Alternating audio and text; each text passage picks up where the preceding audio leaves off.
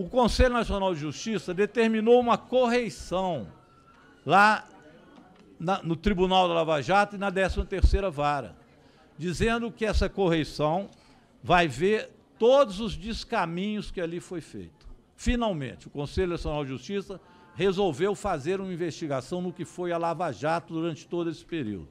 E a gente espera que realmente isto seja feito para que se passe a limpo o que ali aconteceu. Depois que foram interceptados todos aqueles telegram entre promotores, a relação deles com o juiz Sérgio Moro, depois tudo aquilo foi denunciado, eles continuam tentando impedir que até denúncias sejam feitas ali. E agora até a destituição de um juiz eles fizeram, para que esse juiz não desse sequência a uma tarefa que é dele, que é de rever as coisas equivocadas que foram feitas no interior da Lava Jato. Então, que essa correição seja séria. Nós vamos esperar o andamento disso e provavelmente, presidente, além da vinda de Tacla Duran aqui, que já foi aprovado e nós já estamos olhando a data, nós vamos ter que ver o que foram essas correições e o resultado do que aconteceu na Lava Jato.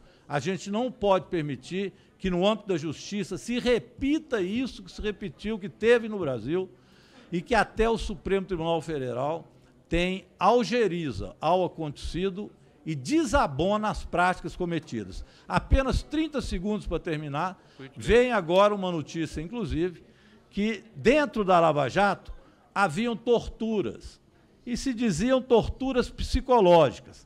Agora aparece uma denúncia, eu trago depois ela aqui com os dados que merece, de que não foram apenas torturas psicológicas, mas que ultrapassou a isso e uma pessoa faz essa denúncia. Estou pensando, inclusive, depois da vinda de Tacluran, de trazer a pessoa que esteve lá e denunciou tortura no interior da Lava Jato.